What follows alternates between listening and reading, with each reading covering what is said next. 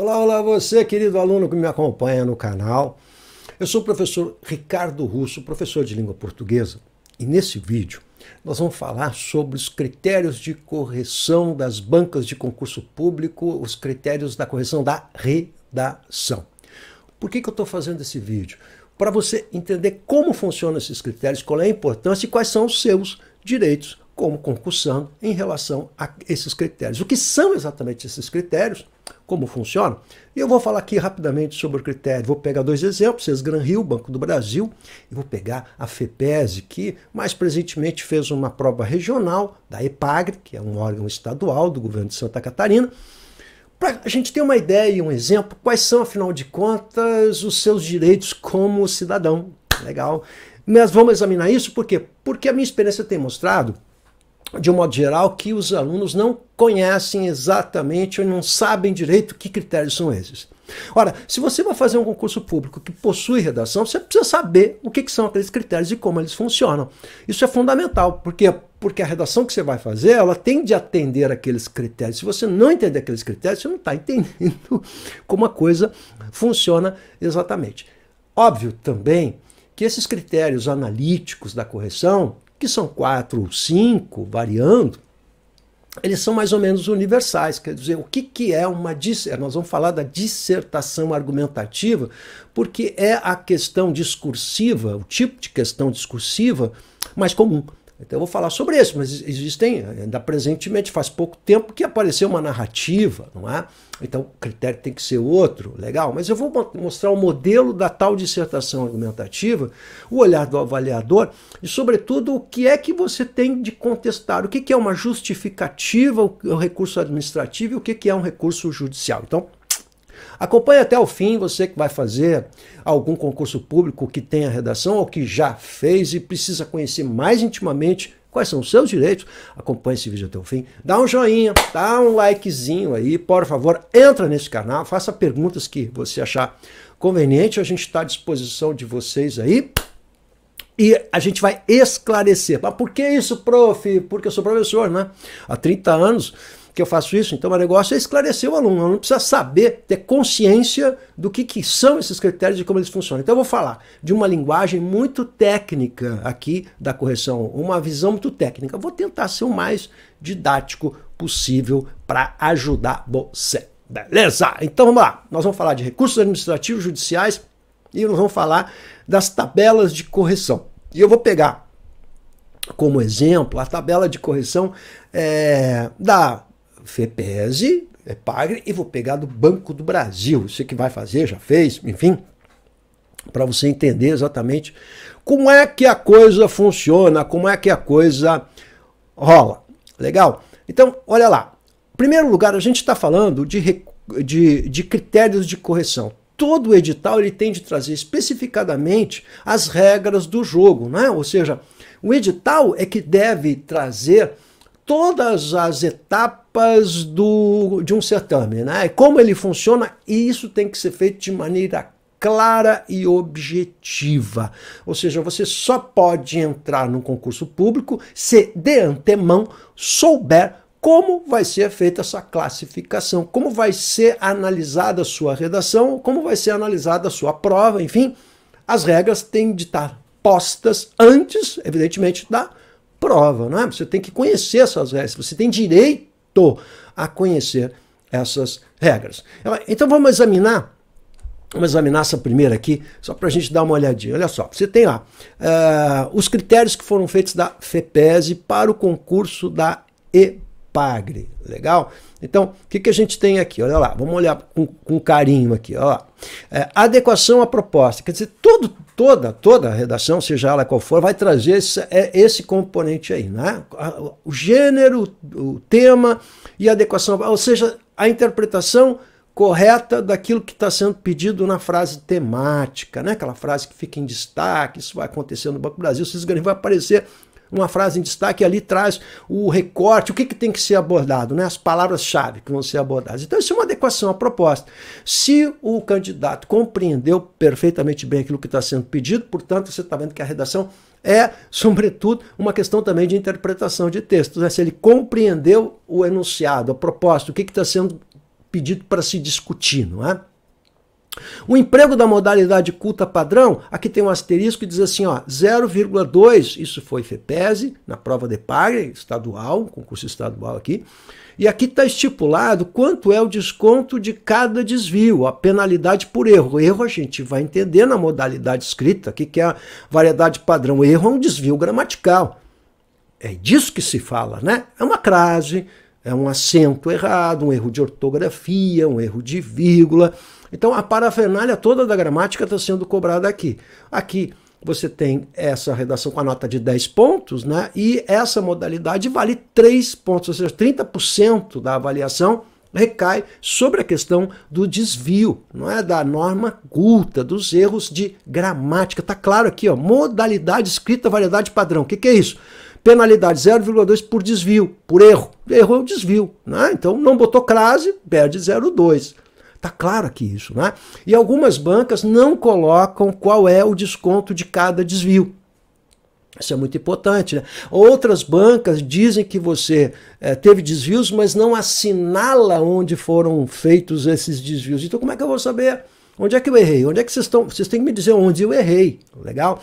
Por exemplo, Sebrasp, Brasília, CESP, Sebrasp, Brasília, como queiram ela traz as linhas, né? Há um desvio X na linha tal, linha tal, linha tal, então ali a gente mais ou menos sabe qual é o desvio, mas muitas bancas não trazem o desvio e são obrigados a trazer. Eu tenho que saber onde foi que eu errei. Legal? Coerência e coesão. Aí é outro aspecto, aquele uso de elementos de ligação entre as orações, entre os períodos, entre os parágrafos, uso do pronome relativo, uso de sinônimos, parônimos para você retomar, uh, uh, uh, retomar palavras, retomar palavras ou expressões. É uma questão bem técnica também, tem bastante subjetividade, mas de um modo geral, está aqui. Não tem nenhuma banca que vá trabalhar e que não apareça coerência e, e coesão. Né? Informatividade, argumentação, narratividade. Não entendi por que narratividade, porque, curiosamente, se o texto é dissertativo, como está assinalado lá em cima, que eu botei em amarelo para você, o texto dissertativo, não, não, tem narratividade aqui, não entendi a narratividade. Por que essa narratividade aqui? Vocês comeram uma bola aqui, né? A argumentação, sim, se é informatividade e argumentação, significa dizer que é uma dissertação argumentativa. Isso não está claro, porque tinha que estar tá lá no texto dissertativo argumentativo. Tem que saber. É, por quê? Porque o dissertativo há dois tipos: há o expositivo e o argumentativo.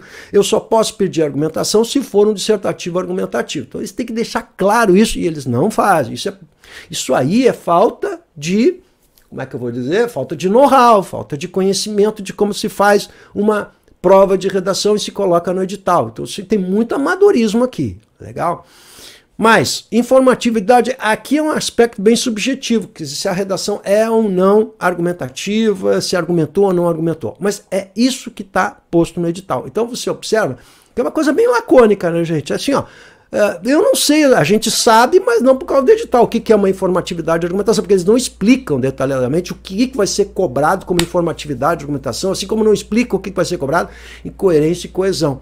Então isso fica solto a critério, e aí assim, ó, é, é, é, a critério de quem vai corrigir. Ele pode considerar coesão uma coisa, outra coisa, mas enfim, a gente vai pelo senso comum daquilo que seja coesão, mas não está estipulado claramente aqui o que se cobra na, na, na, questão da coesão, o que se cobra na questão da argumentação. Tá bom? Muito bem. Está estipulado aqui. Agora, vamos ver adiante o que, que acontece, olha só, o que, que acontece mais à frente, né? Vamos pegar a Cisgran Rio agora, beleza? Então vamos lá. É, é, Cisgran Rio, Banco do Brasil, classicamente trabalha com o Banco do Brasil. Então a gente vai ver que tem cinco critérios. A primeira coisa que chama atenção é que não estabelece, a redação vale 100 pontos, está escritinho ali, legal, mas não diz quanto vale cada um desses critérios, ficou bem genérico também. Então, algo que ficou genérico, não especifica o que, que eles entendem por cada um desses itens, nem ao menos o peso. A gente vai ter que supor isso, né? Porque não tem lá. Ó, são cinco: adequação ao tema proposto, ao tipo de texto, emprego apropriado de mecanismos de coesão. Aqui está um pouquinho mais detalhado do que o anterior, você está vendo? Explicando um pouquinho que seja o mecanismo esse, referenciação, sequenciação, demarcação das partes do texto. Então, mais ou menos ainda colocou aqui. O anterior não tinha nada disso, né? Da FEPES não tinha nada disso. Capacidade de selecionar, organizar, relacionar de forma coerente argumentos. Então aqui é a parte da argumentação, que a outra, a da FEPES, falava em informatividade. Aqui fala em selecionar, organizar, relacionar. E a curiosidade é que esses verbinhos aí, selecionar, organizar, relacionar, são verbinhos que estão lá nas tabelas de correção do Enem. Então, olha como o Enem contamina também essas outras bancas aqui, tá? Isso é importante para a gente entender. Eu já vou voltar a falar do Enem. É, pleno domínio da modalidade escrita norma padrão. Então, adequação vocabulário, ortografia, morfologia, aqui está detalhado, não é? Lá falava em norma padrão, em nível culto, mas não trazia mais esse detalhamento. Aqui está, adequação vocabulário, Legal? Se você está usando o vocabulário de acordo com a norma culta, quer dizer, você não pode usar aqui gírias, você não pode usar linguagem informal, você tem que usar uma linguagem formalizada, legal? Uh, então, em vez de você colocar jeito, você vai colocar maneira, forma, jeito é informal. Então, tá claro aqui, ó. Ortografia, claro, toda a parafernália da ortografia, quer dizer, escreveu certo, escreveu errado, não é? Escreveu com dois S, era com cedilha. Então, a separação silábica, a, a, acentuação, isso tudo cai na ortografia, né? O cara não coloca acento ou coloca acento errado, cai em ortografia. Morfologia, aí uso da crase, é, regência, concordância, a sintaxe de concordância, a sintaxe de regência, a colocação pronominal, tá?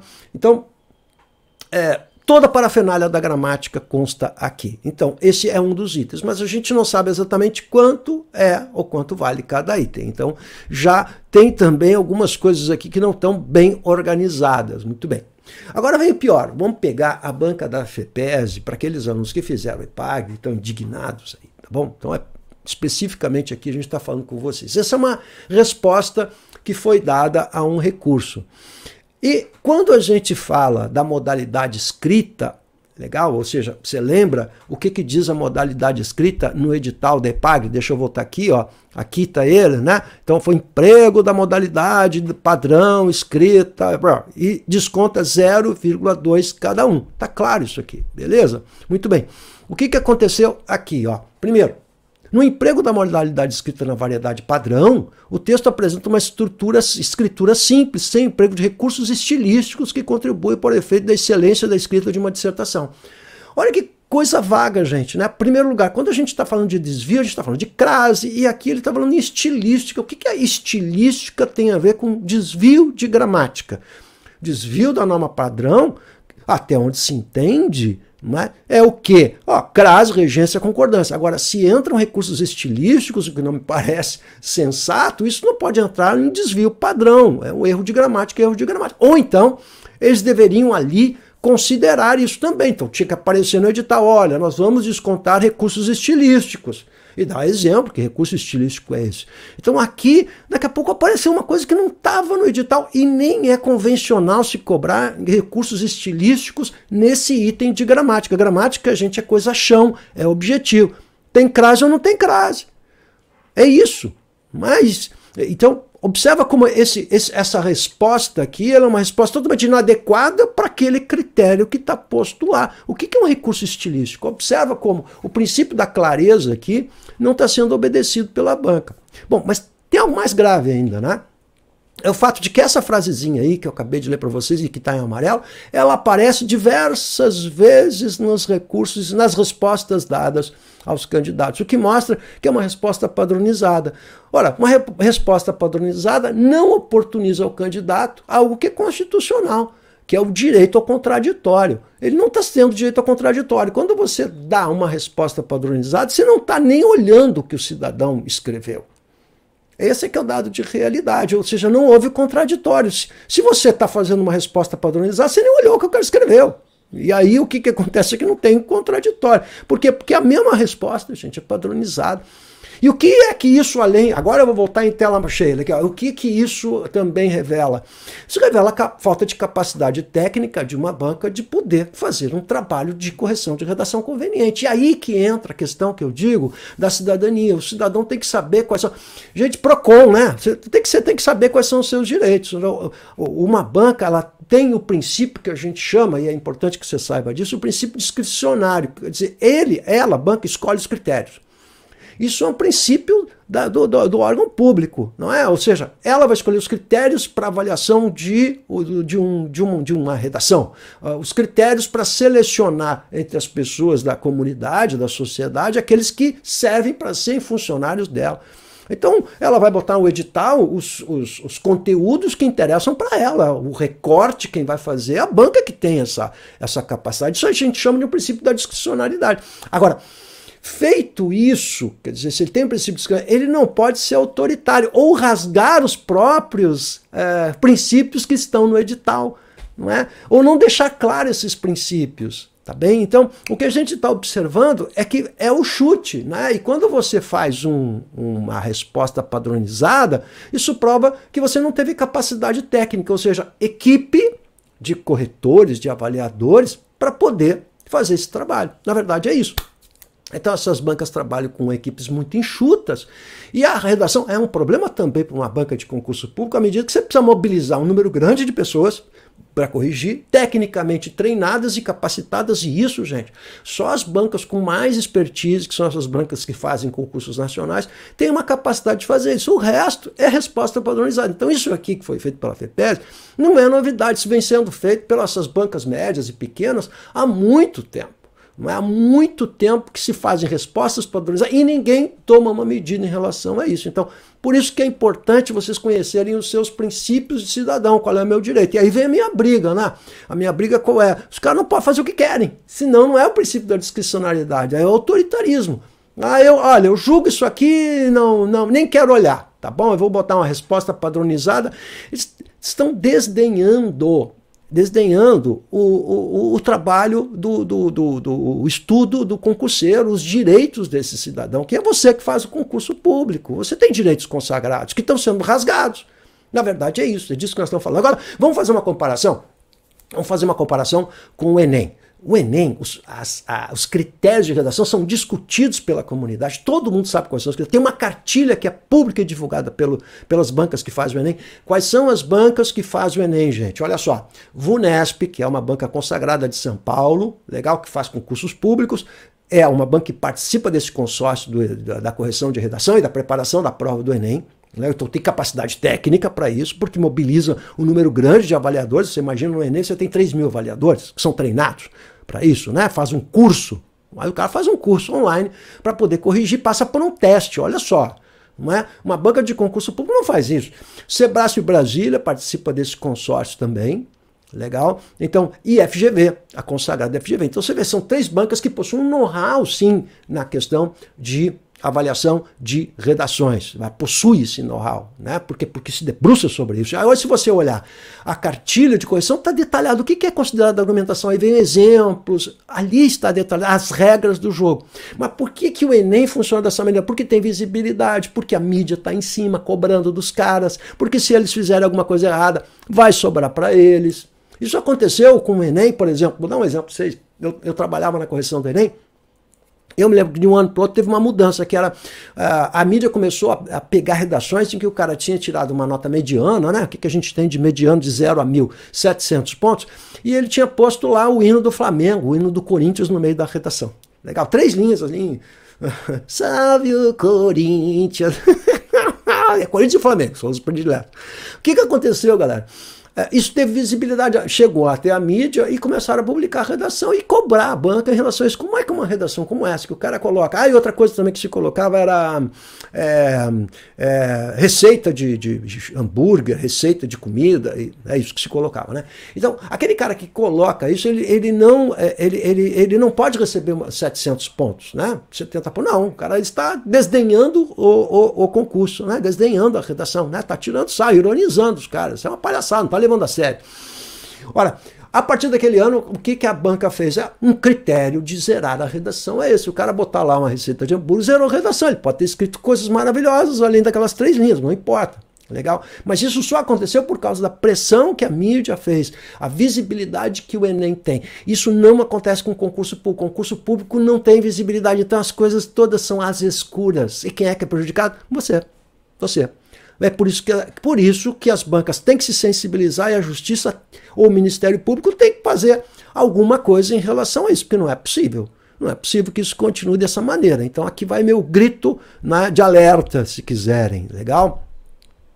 Bom, mas além disso, além disso, vem esse dado que, que me deixa mais horrorizado ainda, né? que também foi padronizado pela FEPES. Olha só, no finalzinho, os caras colocaram essa joia preciosa aqui que eu quero mostrar para vocês. Diz assim: alerta-se, todavia, que a aplicação rigorosa da pontuação prevista nos critérios quais são os critérios, os que, estão no edital e que, portanto, regulam o que? A avaliação, porque está lá, eles é que eles inventaram aqueles critérios e eles é que colocaram lá.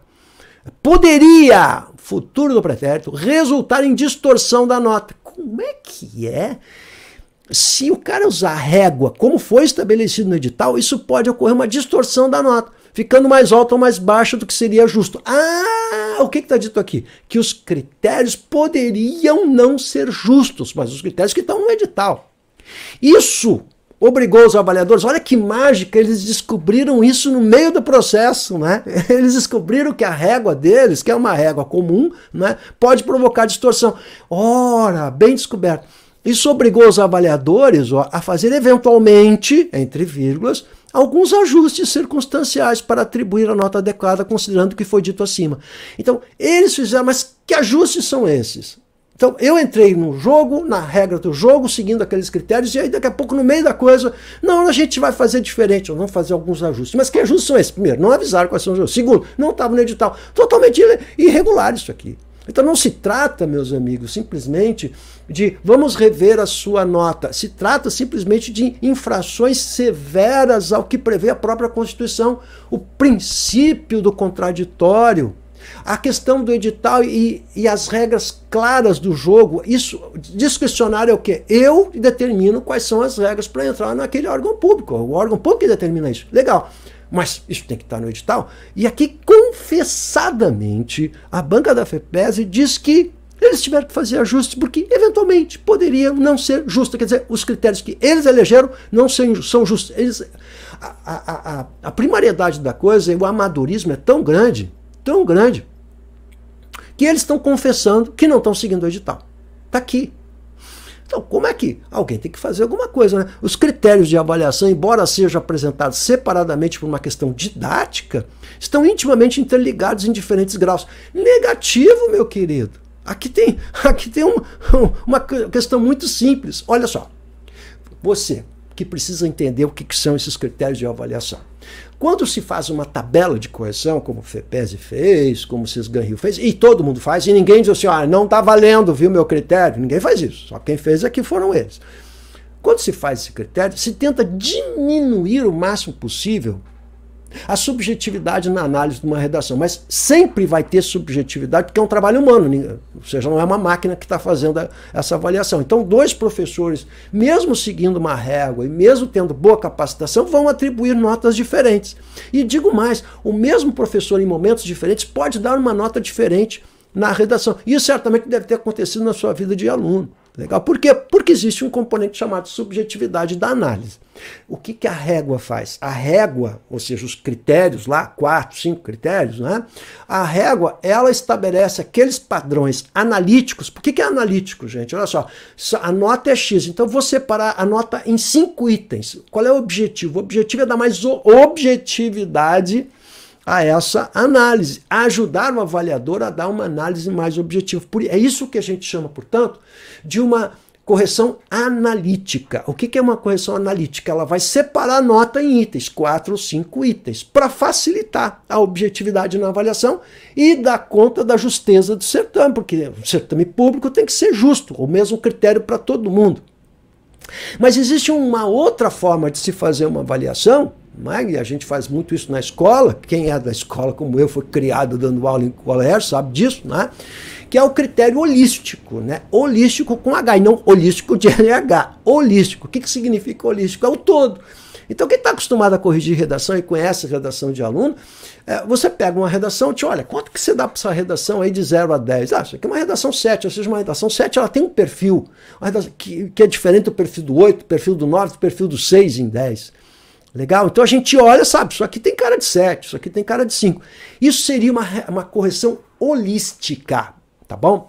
O que está sendo dito aqui confessadamente nessa justificativa é que eles mudaram o critério. Em vez de ser analítico, eventualmente eles vão usar o critério holístico, mas isso não estava no edital. Ou seja, mudaram o critério.